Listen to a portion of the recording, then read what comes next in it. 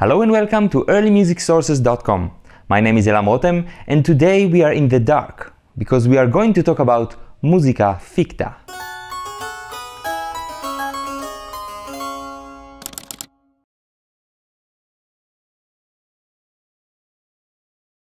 The issue referred to as musica ficta is one of the most infamous topics in the research of early music. Mostly, it refers to the practice of altering certain composed notes with accidental notes, based on theoretical knowledge and performance conventions. The difficulty is that this knowledge and these conventions, both nowadays and in old times, were not always completely straightforward, and sometimes even contradictory. In this episode, we'll see what we can nevertheless say about it. Let's start from the beginning. What is musica ficta? In our episode about solmization, we presented the gamut and the Guidonian hand. These both represent a collection of notes, all categorized under terms such as musica vera, recta, or regularis. That is, music that is true, correct, or regular. Other notes, whether they be in between those notes of the gamut or simply beyond its range, are categorized under terms such as musica ficta or falsa, that is, feigned or false. So, if you can't find a certain note on your hand, you can say that it is probably not in the realm of musica vera, but of musica ficta. A simplification of the matter would be to say that the white keys of the piano are musica vera, and the black keys, the accidental notes, are musica ficta. But this is not quite correct, as the note B, both in its hard natural variant or soft flat variant, is part of the musica vera. It's on the hand. And if the whole system is transposed, as was the case sometimes, other black notes will be also part of the musica vera. Now, in order to arrive at ficta notes, one can transform musica vera notes by replacing their solmization syllable. One can apply the syllable fa or mi to notes that normally don't have these syllables, and by that change their category.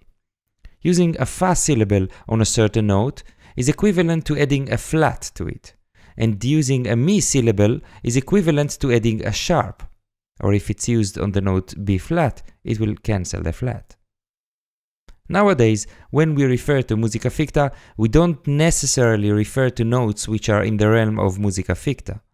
Mostly, when the term comes up, it is in the context of a need to alter some composed notes. Notes that, based on theoretical knowledge and performance practices, should or even must be altered using a fa or a mi, depending on the case. Setting aside our own ficta problems when trying to understand and perform early music for now, we should first understand why such alterations of musica vera were needed in the first place, in the stage of understanding and composing music. When using notes of the musica vera, one must beware of augmented and diminished perfect intervals, due to the fact that they were simply prohibited. For example, in this succession of four notes, there is a bad interval of an augmented fourth between the F and the B. I'll sing it using solmization syllables. La, fa, mi, mi. It is common to read in the sources that one should avoid having mi against fa. Indeed, when noticing the solmization syllables of perfect intervals, notes with mi syllables against notes with fa syllables will always result in bad intervals. In order to perfect this fourth, we can either put a mi syllable on the F, and by this transforming it to an F sharp. La mi mi mi. Or instead, put a fa syllable on the B, and by this transforming it to a B flat. La fa fa. According to the sources, the preference in such a case is almost always towards the usage of flats and not sharps. However, now the last interval between the B flat and the E is a diminished fifth, also a bad interval. La fa fa mi. Should we now put a Fa also on the E? And what if this piece is in a Mi mode? The whole mode will be ruined if we will alter the basic note of the mode. And let's say we do change this E to E flat. If it is followed by an A, will we then also have to alter the A? This example is just to show how Musica Ficta troubles are waiting at every corner of the Musica Vera, as inherent imperfections of the musical system and should be taken into account when composing music. This tension between Mi and Fa is evident in this generic and simple example of just one part, but you can imagine that in polyphony things get even more complicated as there might be not only bad intervals in melody, but also in harmony. The use of ficta in order to avoid bad intervals was regarded as causa necessitatis, on account of necessity. But there were other uses of ficta, regarded as causa pulchritudinis, on account of beauty. Such use of ficta is evident, for example, in the counterpoint rule or recommendation that dictates that when proceeding from an imperfect interval to a perfect one, a semitone should be used in one of the parts. This semitone, if needed, may be obtained through the use of ficta notes, as in these examples. Other common reasons for the use of musica ficta were cadences, and also to allow a major harmony at the end of pieces. More about that later. Okay, so composers could use ficta notes in order to avoid bad intervals, and also for other reasons. But how is this a problem for anyone? The material presented up until now was information needed for composers. It described ways they could or must use musica ficta when composing music. But as it so happened, it was the convention that the graphic signs indicating musica ficta, that is, sharps and flat signs, were not always used by the composers. Some wrote more signs than others, but generally there was no agreement on when, where, and why some signs are written and some not. This was based on the assumption that musicians would have the experience and knowledge to decide when and where a ficta could or must be used. Not so surprisingly, this was not so clear to everyone especially when the bad intervals are a result of what happens between the different voices, when the singers are not able to anticipate them, as they only had their own part. Pietro Aron in 1529 put it so. Doubts and disputations are circulating among some lovers of music about the signs of bemolle and diesis, that is, flats and sharps whether composers are constrained to signal them in their compositions, or whether the singer ought to understand and recognize the hidden secret of all the places where these figures or signs are needed. He continued and wrote that in many situations one cannot know whether ficta notes are necessary. Such silent intelligence belongs to God only and not to a mortal man for it would be impossible for any learned and practiced man to be able to sense instantly an imperfect fifth or octave without first committing the error of a little dissonance. For this reason I say that those who do not indicate the sign of bemolle, where it might naturally appear to be otherwise, commit no little error, because an intention retained in the mind accomplishes nothing. Thus, Aaron is complaining about the convention of incomplete notation of the ficta notes and suggests, at least when correcting imperfect perfect intervals using flats, that the composers should mark them explicitly and not to expect mortal men to divine the composer's intentions. In other places, he wrote that the explicit notation of sharps is necessary only for the sake of beginners, as professional musicians will know their way also without it. So now you see the problem. Things were not clear and people were confused. In most cases, musicians were expected to use their experience and knowledge and alter the composed notes of pieces using musica ficta. Let's see in what cases they were expected to do so. As we mentioned, the alteration of notes using musica ficta was divided into two main categories, necessity and beauty. Necessity is the correction of imperfect perfect intervals, that is, the transformation of augmented or diminished fifths, fourths, and octaves into perfect ones. This refers to melodic intervals as well as to these that occur harmonically between parts. By correcting, we don't mean to imply that it was wrong and we have now corrected it, but that the correct note was simply not explicitly noted to begin with, although expected by the composer. As we said, when you find a perfect interval where one of the notes has a mi syllable and the other a fa, it will inevitably be a bad interval that must be taken care of. In order to fix a pair of mi and fa, mostly the mi will be transformed into fa. That is, the mi note will get a flat, become a fa, and thus the interval will be normalized. If we are in an untransposed system, cantus durus, the flat in question will be mainly B flat. And if we are in a transposed system, cantus mollis, with the B flat in the key signature, the flat in question will be mainly E flat. A common statement in regards to ficta is that a single note above La must always be Fa. In Latin it sounds better. Una nota super La semper est canendum Fa.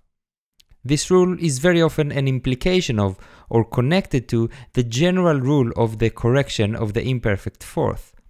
Aaron, in 1545, criticized the overusing of the fa above la rule by musicians, and stated that in fact the only situation where it is necessary to apply it is in order to sweeten the tritone, addolcire il tritono.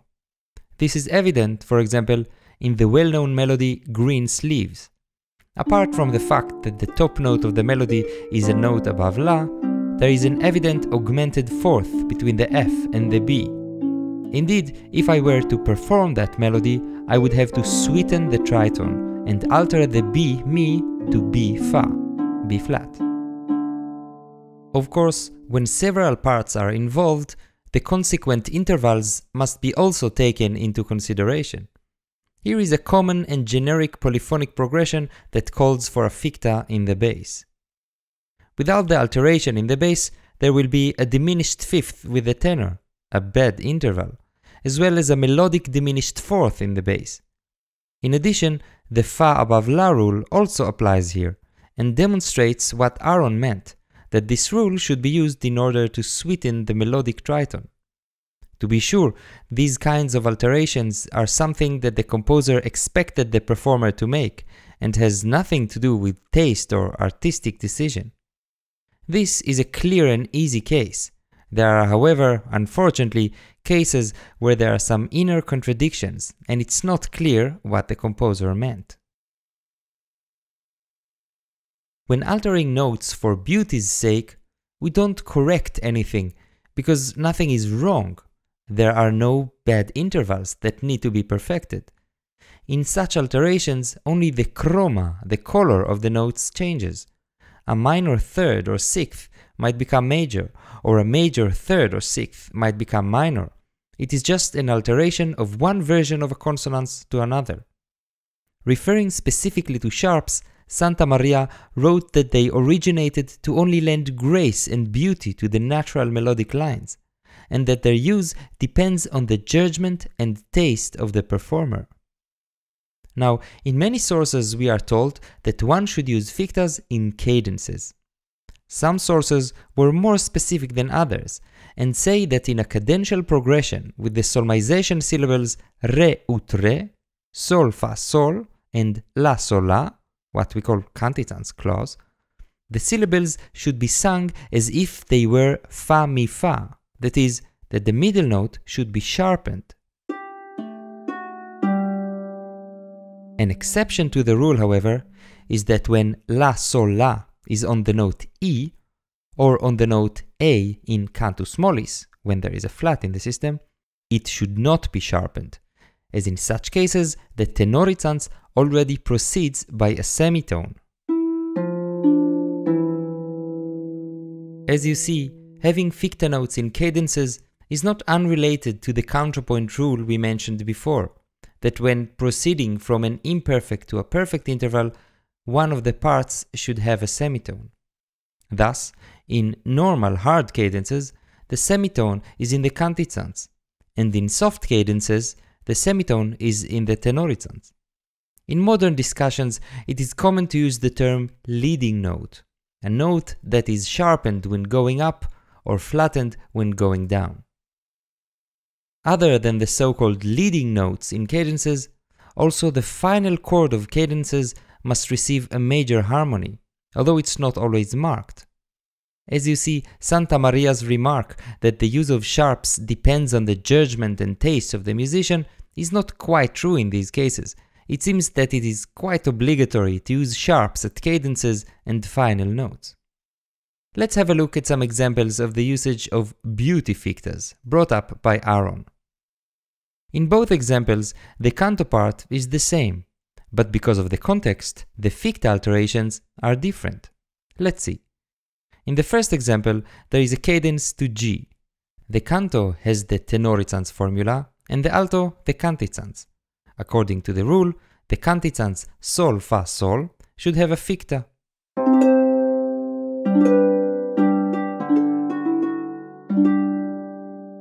In the second example, however, there is a soft cadence to E. The bass taking a soft tenorizans, moving by a semitone, and the alto taking the cantizans. Because of the exception to the rule mentioned above, that in a soft cadence there is no need for a ficta in the cantizans, no ficta is necessary. The canto part of this example, even if melodically identical to the one of the first example, lands on the third at the final chord, and therefore must be altered to allow a major harmony at the end.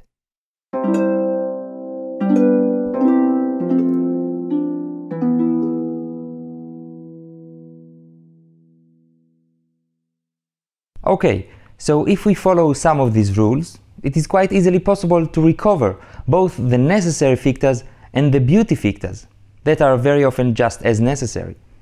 However, there are cases where things are not completely clear. We have an account of a ficta dispute that took place between some singers in the papal choir in the middle of the 16th century. Let's see. This example is taken from Johannes Scribano's Lamentations, found in an unpublished music treatise by Ghiselin Danckerts, dated from the middle of the 16th century. We are told that there were disagreements concerning this fragment. As you see, the only written out ficta sign is the B flat before the final cadence. This is an obvious causa necessitatis. Without it, there will be a diminished fifth between the bass and the canto part, Mi against Fa. The first obvious ficta alteration from the performer's point of view would be the final cantizans figure. And if there were a third on the final chord, it would also get a ficta. The ficta doubts concerns the cadential progression in the beginning, as well as its repetition in the lower voices. According to the rules we mentioned above, the cadential figure La Sol La should get a ficta. However, because there is a Sol one bar before that, it would be weird, at least in the period in question, to have the natural sol immediately followed by its sharpened version.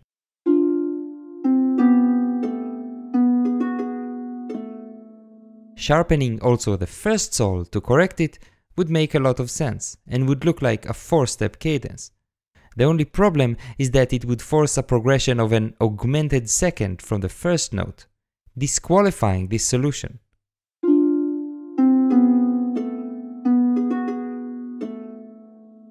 If a hard cadence cannot take place, we can use a soft cadence by adding B flats throughout. This will be in line with the B flat already written in at the end.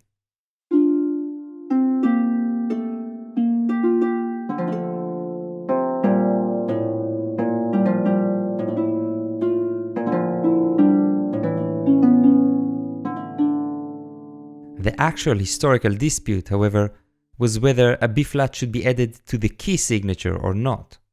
Some argued that the B flat should be added throughout, but the writer of the treatise, Danckerts, believed that it should not, as this will ruin the mode. Check the footnotes if you want to read more about it. Regardless of the final opinion of the writer of the treatise, that was never published, This example shows the historical variety of opinions on the subject.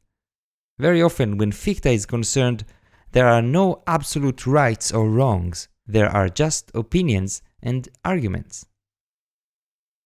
Luckily, the unnecessarily confusing tradition of not marking the fictas was not taken over in intabulations.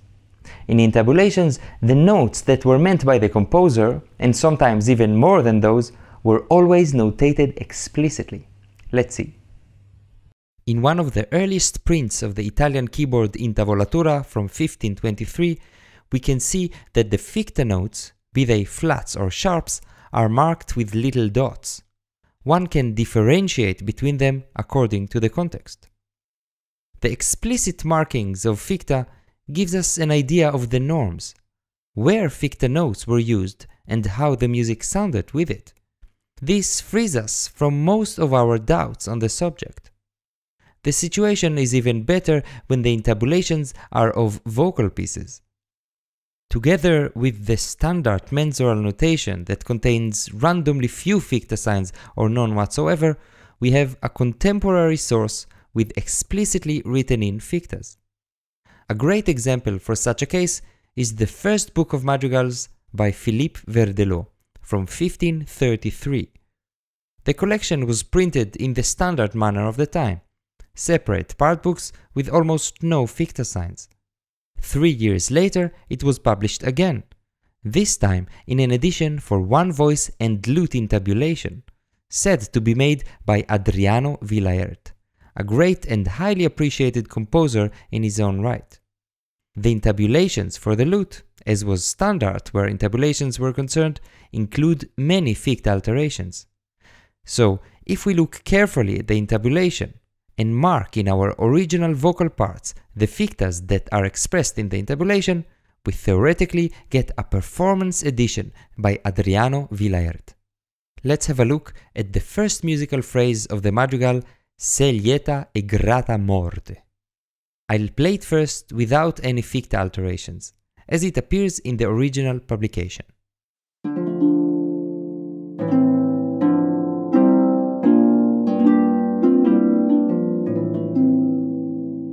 Now I'll play it with the alterations indicated in the lute intabulation edition.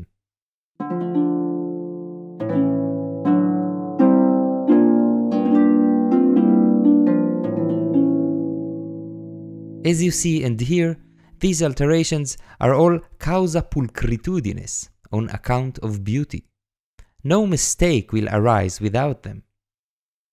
The next ficta alteration, however, is causa necessitatis, without which horribly bad intervals will take place.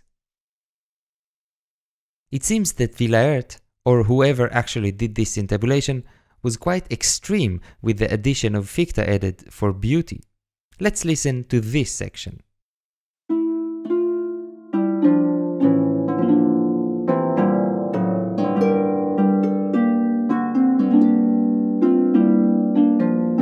This kind of medieval double leading note cadence is an extreme and rare example that cannot be found often in other sources from that time.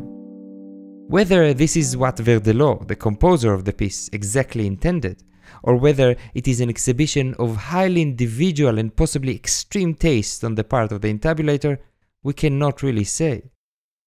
When there is no clear correction of a bad interval and there is no clear cadence or final note, it is very probable that in such cases different performers chose different interpretations.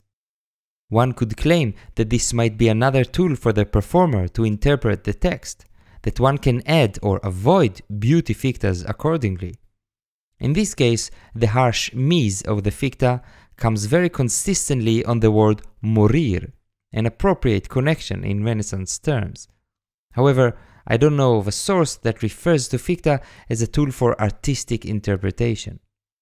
Regardless, one may learn a lot about ficta from such intabulations of vocal music, as it is a true window to the elusive past of ficta. By the end of the 16th century, Aaron's wish for a fuller marking of the ficta was more or less fulfilled.